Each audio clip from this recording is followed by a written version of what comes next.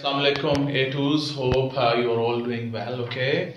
Uh, and you, you, see I'm in a state of quarantine. Look at my hair and all, all, my hulia. Okay, so please excuse me for that and just focus on your uh, P3 where you have you guys have done really badly in this P3. Okay, so I'm starting from the first question. By the way, this was the paper uh, that was given to you. I just changed the second question, which was from the trapezium rule, which is no more in your syllabus. Okay, so the first question says use logarithms to solve this equation. This is 2 raised to power 5x that is equal to 3 raised to power 2x plus 1.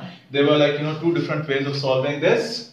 Uh, some of you splitted these with the power x and some of you took the log directly. So I would suggest you take the direct, direct take the log directly on both the sides. So this is your uh, ln 5 raised to power, oh sorry, 2 raised to power uh, 5x. This is ln 3 raised to power 2x plus 1. Okay. So now this is uh, 5x ln 2 and this is 2x plus 1 ln 3.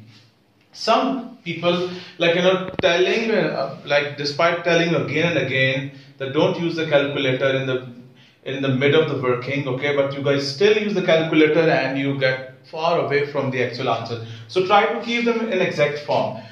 So this is 5x ln 2, this is 2x ln 3, there is a lot of algebra involved here. This is 5x ln 2 minus 2x ln 3 that is equal to ln 3. You take x common from here, this is 5 ln 2 minus 2 ln 3 that is equal to ln 3 and finally you get your answer ln 3 over 5 ln 2 minus 2 ln 3 this is the value of x. You can use your calculators because the, the, the it says that give your answer correct to three significant figures. So now at this stage you must use your calculators.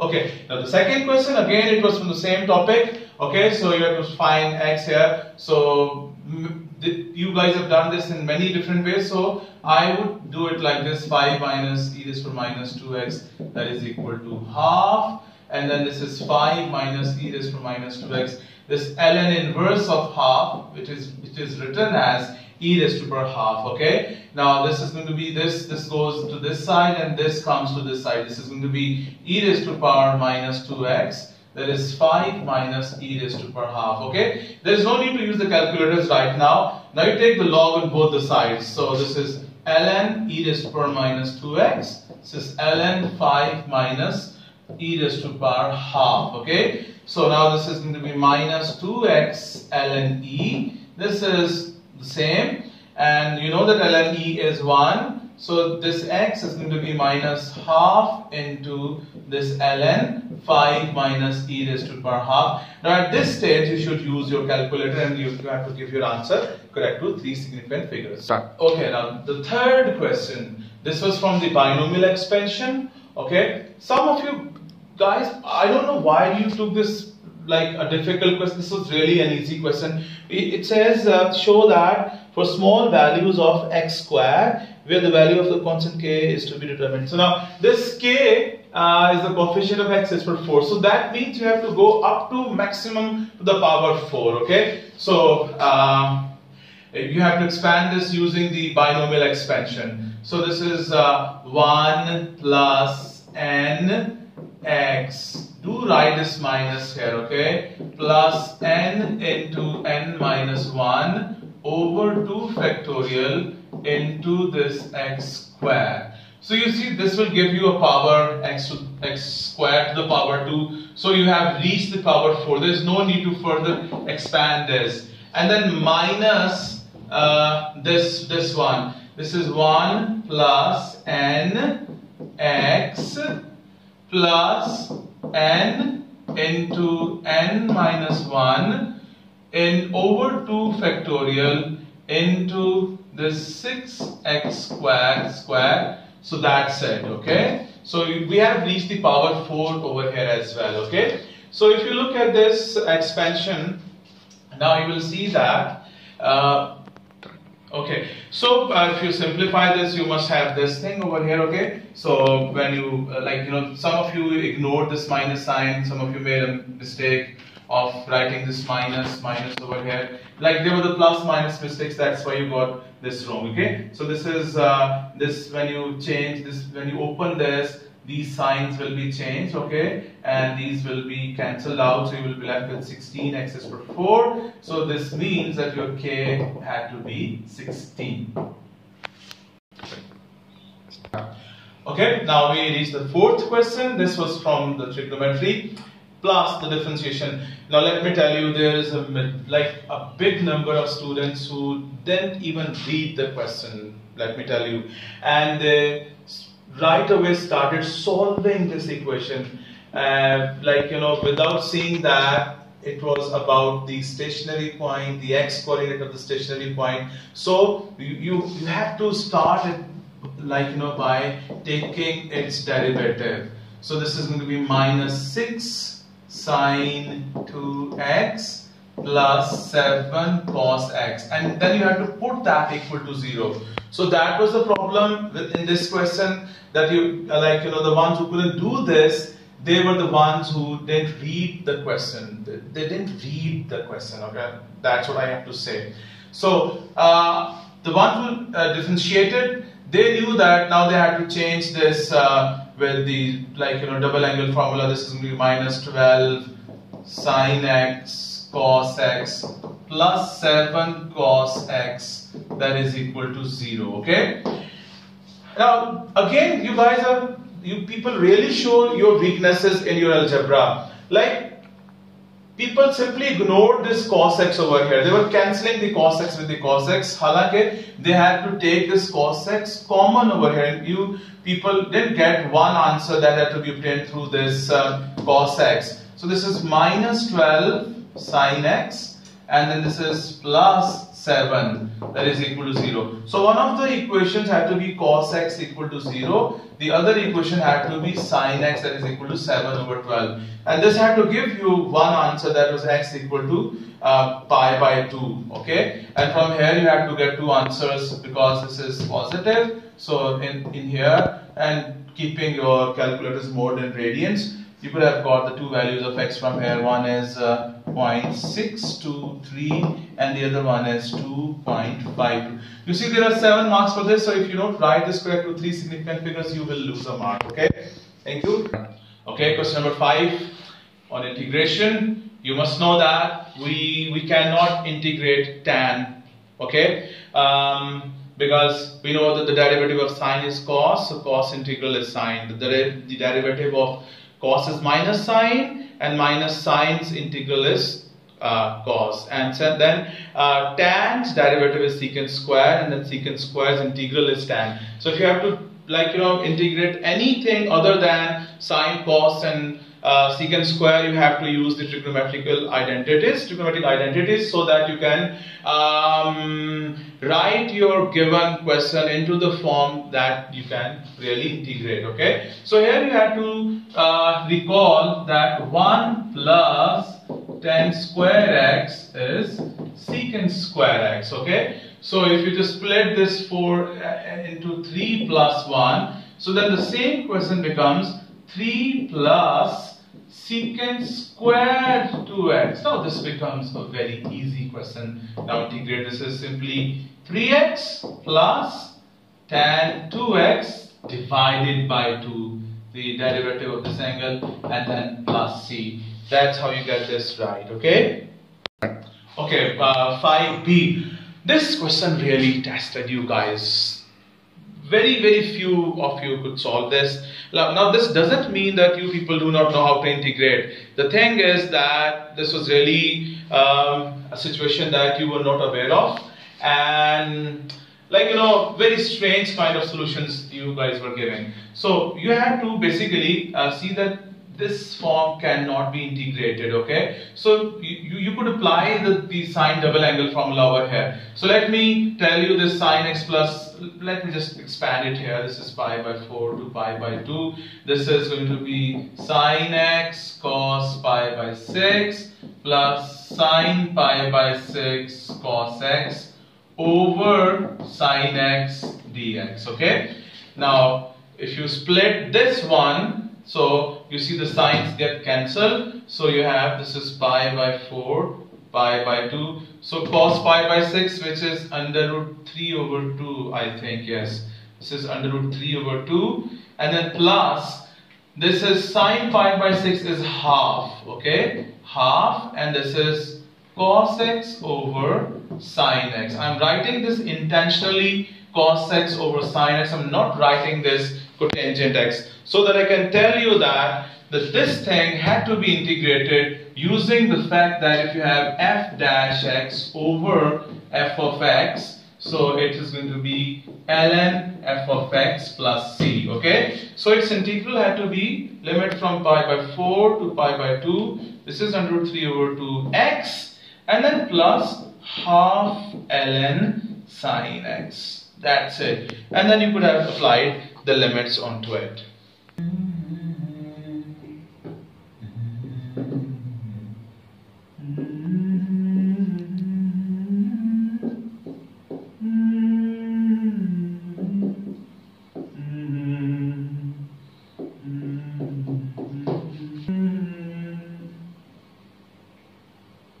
Right.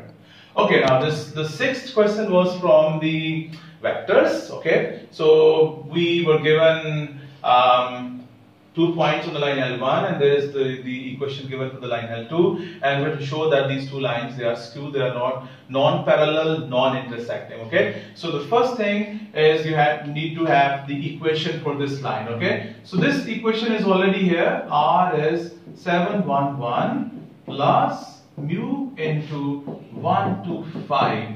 The other equation for this would be uh, 0, 1, 5 plus lambda into, you find the direction like this is, this is 2 minus 0 is 2, minus 2 minus 1 is minus 3 and 1 minus 5 is minus 4.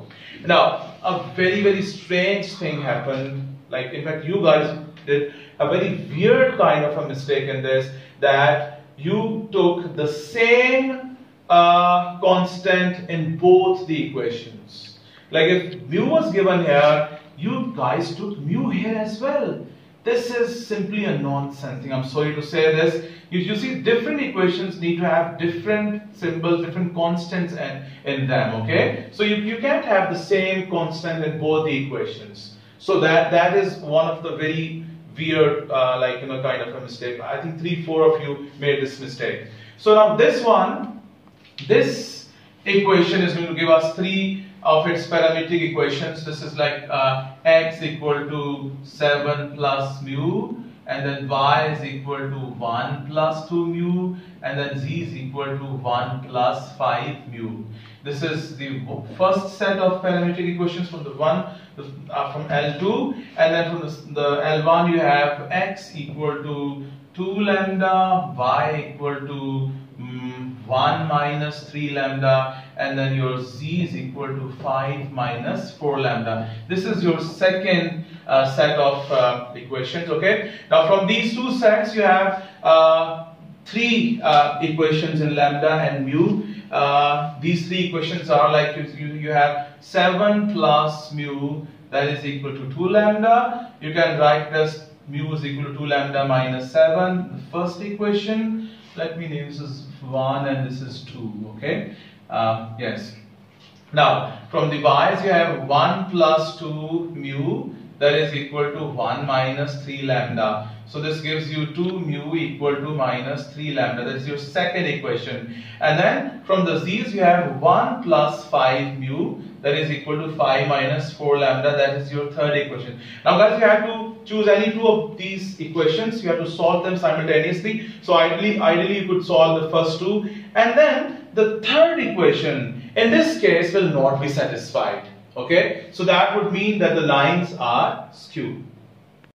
Okay, we move to the second part of the sixth question. He says find an acute angle between the direction of the line L2. He says direction of the line L2 and the direction of the x-axis. The direction of the x-axis, guys, that is 1, 0, 0, okay? So if you had taken this correctly, now I'm, I'm, I'm so sad about those people who have taken this direction correctly, but they have taken this position vector instead of this direction. So please guys, this is the direction vector and this is the position vector of the point on this line. So we have to basically find the angle between these two directions, okay? So that's that would be uh, cos theta, that is 100 dot 125 over the square, this is 1 and then times this 1 plus 4 plus 25 so this will be cos theta that is equal to 1 over under root. I think that is 30 yeah? Yeah this is 30 so that that will give you the acute angle between the direction of L2 and the x-axis. Okay uh, the seventh question your favorite topic differential equations. Okay many of you were demanding the solution of this question and inshallah uh, I'll be uh, solving some more differential equations. Uh, so let me do this first. Later on. Okay, now this is dy by dx, okay, and this is 4x into this. And we're given two values of like you know corresponding values of x and y. And we have to give the answer y in terms of x. There are nine marks for this question okay? So so guys we do need to have the the things in product form whenever we are dealing with the differential equation okay? So this is already this 4x times this do not try to expand this okay? So one side will have y with this the other side will have x in it okay? So this is obviously this is dy and the other side will have the dx okay? So all of this goes down here. So uh, and this is going to be 4x dx and just to save a step over here, I'll be factorizing this 3y squared plus 10y plus 3. This is 3y squared plus 9y plus y plus 3. And this is 3y into y plus 3 and then, then y plus 3. So this is written as, this is y plus 3 and this is 3y plus 1. Again, uh, something like, you know, sad to say over here, some of you guys solve this uh, as a quadratic equation through the calculator. You found the roots and then you try to write them as a product over here. So, so that really uh, resulted in, in, in a wrong answer. So you have to factorize this, okay? Don't use the calculator. Like you can, you can take an idea about the factors, but please, think, you must have to see that the product should be this okay? So this is this was not an equation this is uh, an expression that needed to be factorized okay? So this is this. Now uh, we put the integration sign on both the sides over here. So this side is going to be integrated with respect to x. This is going to be integrated with respect to y. And you must know that why did I factorize this? Because if I just write it as it is dy over all of this we cannot integrate anything keeping that into the in the denominator position. So uh, we have to think that what technique has to be used over here. So you will have to write the partial fractions for this. Okay, I'm using this student's work to see what were the partial fractions. Uh, yeah, she has made uh, for this. Or should I do the, these I think I let me show you how to write partial fraction because that would be a quick revision of your partial fractions as well. This was the first degree, I mean the first level of the partial fractions. This is a over y plus 3, two fractions, okay? 3y plus 1. So this 1 is a into 3y plus 1 and this b into y plus 3 you put your y as minus 1 over 3. This is 1 and this is b into minus 1 over 3 plus 3. This gives you 1 is equal to b into uh, I think this is 3, 9, 8 over 3. So your b is 3 over 8. Okay. And then similarly you put uh, y equal to minus 3 okay sorry for this writing you know. Um, I write just like this. This is 1 is equal to and this is going to be 3 3 0 9 plus uh, minus 9 plus 1 this is minus 8 so your a is minus 1 over 8 Yes, I'm getting the correct answer. Yes, okay. So this is going to be written as um, minus 1 over 8 into y plus 3. I hope you can read it, okay? And then plus, the other one is 3 over 8 and this is uh, 3y plus 1, okay? This all dy and let me erase this from here and that is equal to we can integrate this this is going to be 4x squared over 2 I'll be writing the c thing to this side. Now guys you can take this 1 over 8 common from here if you want to make it easy. So let me take this minus 1 over 8 as common because this really confused many of you. So this is 1 over 8 into minus 1 over y plus 3 plus 3 over 3y. I really like this 3 over here. Why do I like this 3 over here? Yes, any guesses? Hmm? Yeah, because 3y plus 1's derivative is 3. So we really like this 3 over here. Otherwise, we had to bring a 3 over here forcefully, okay? This is dy and this is 2x squared.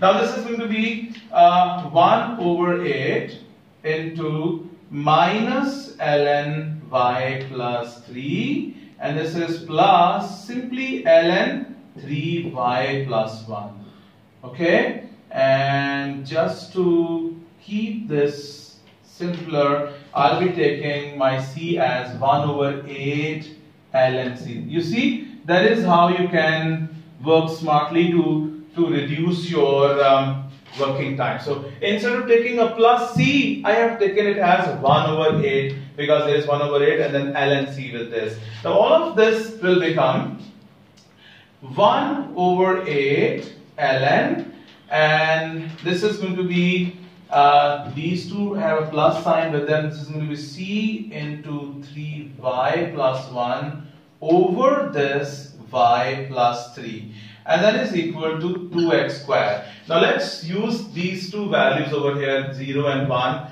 to find this the value of c okay? I'll be doing that over here. Okay uh, x is 0 so this becomes 1 over 8 ln. When you put your x 0 sorry uh, y is 1 so this is going to be uh, c into this is uh, 4 and this is 4 okay so this is C into 4 over 4 and that is equal to 0 over here okay? This these 4's are cancelled. So your 1 over 8 ln c that is equal to 0 okay? In other words ln c is equal to 0 and your c is ln inverse of 1 that is going to be equal to 1 so your c is 1 now this equation becomes uh, 1 over 8 ln 3y plus 1 over y plus 3 that is equal to 2x square. You see your integration has all finished over here. Now this is your algebra where you have to write this y in terms of x okay? So let's do that. This is not a very difficult thing. Now i'm just going to erase this. We don't need all of this So uh, from this point, uh, this would be ln 3y plus 1 over y plus 1 is going to be 16x squared. Your 3y plus 1 over y plus 1 is e raised to power 16x squared. Okay, then there is a cross multiplication. You do all that and finally you should have your answer as uh, yeah, I think this is, I'm looking at, I think this is Abira's paper in front of me. This is 3 e raised to the power 16x square. I believe this is correct. I have marked this as correct. Minus e raised to the power 16x. So when you like you know you have to do the cross multiplication, take like this is only a grade 8 level question where you have to make y the subject of this equation. Okay. Okay, we reached to the eighth question, which was which was on to on the complex numbers. I'm skipping its first part that was done correctly from by most of you. Now the second part that was really a confusing one. Um, the guys who read the question correctly, they, they did that correctly. It, it was saying it is given that p is a real number. This p is a real number, okay? So that means um, if I change this uh, w uh, with um, let's say 2 plus 4 iota and then I let this p be as p. So this this complex number, if I call this let's say a complex number z for for instance, okay? So this z is uh, uh, going to be 2 plus p plus 4 iota. The moment you write it like this, then you can easily see, yes, like, you know, in what case the argument can be pi by 4. If you remember the typical values, the typical complex numbers, if, if you recall that we did that if there is a 2 plus 2 iota, this is your A, this is your B, if they are both equal, you know the argument of z that is tan inverse of b over a. Now if they are both have the same magnitude, so this is going to be 1, b over a, 2 over 2 is 1. So that means the argument is going to be pi by 4, okay? And if one of them is minus, and especially if this x is minus, then uh, it is still going to give you, I mean the basic angle pi by 4, but this would be uh, like, you know, uh, situated towards this direction. So this is going to give, give you uh, an argument which is going to be pi by 4.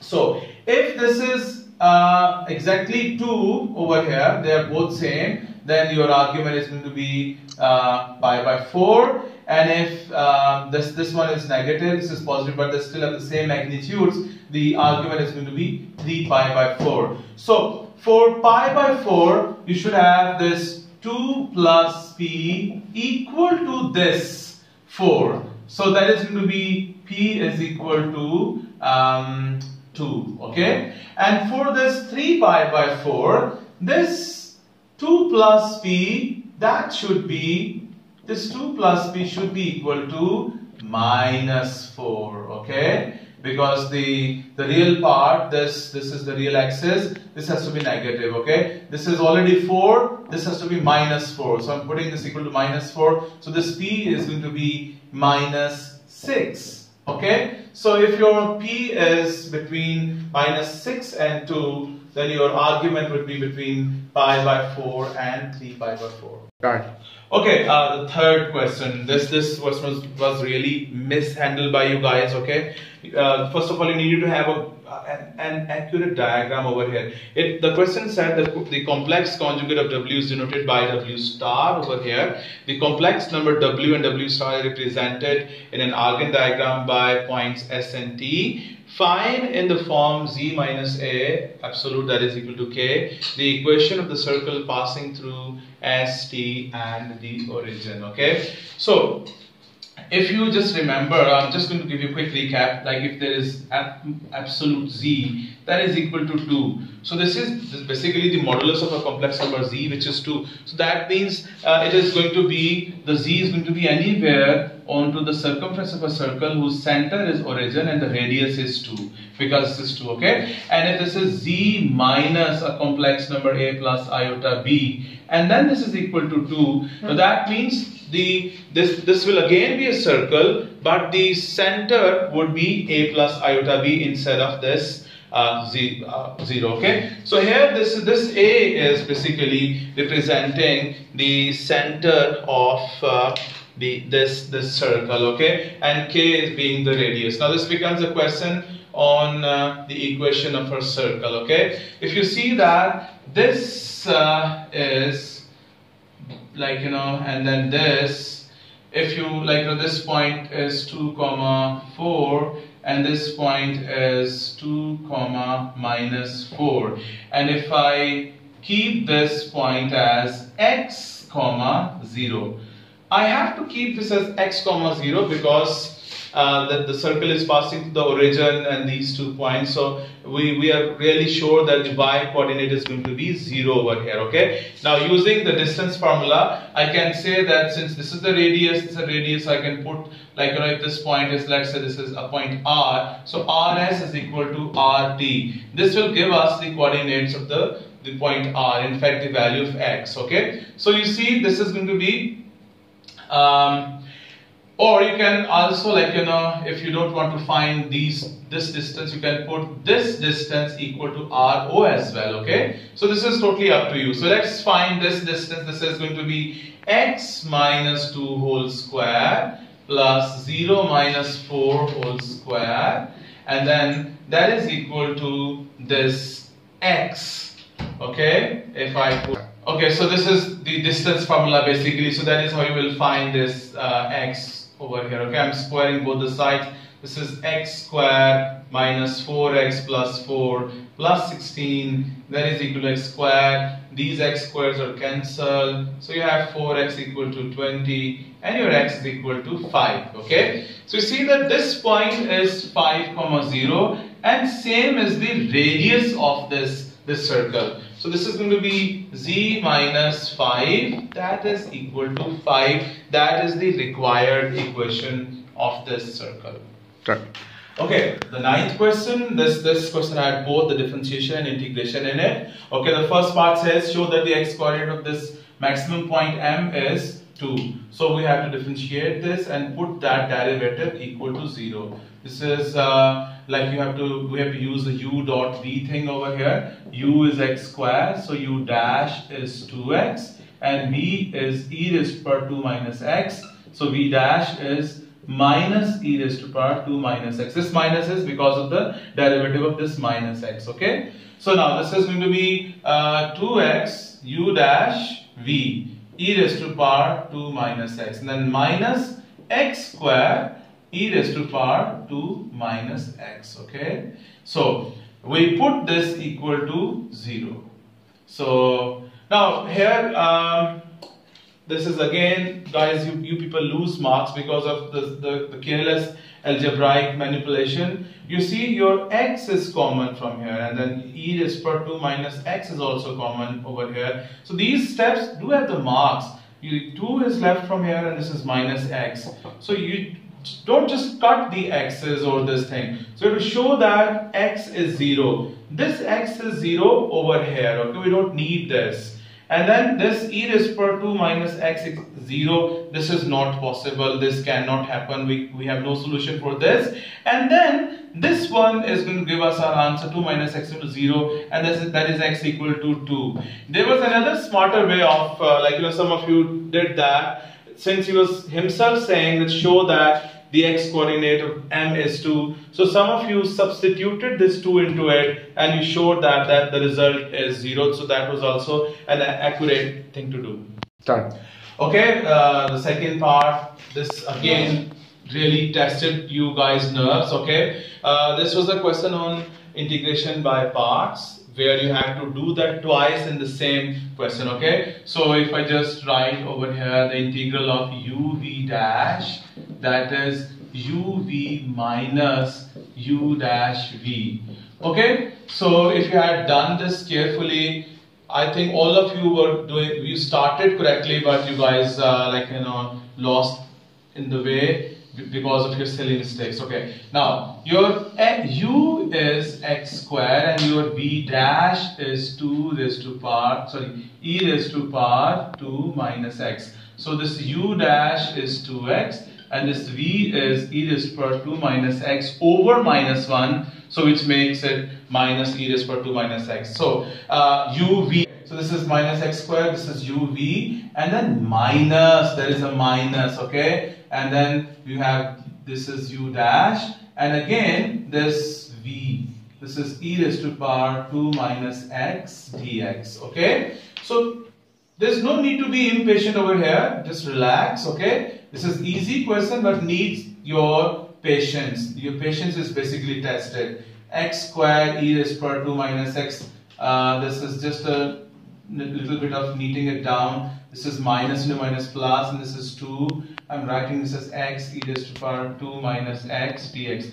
Now we need to um, integrate this again. I'm just ignoring these limits uh, right now. We can put them at the end. Okay this is minus x square e raised to power 2 minus x plus 2 now use the brackets here. So this is our u this is our v dash okay? So this is going to be x and we, we know this is the same one so its integral is minus e raised to 2 minus x minus.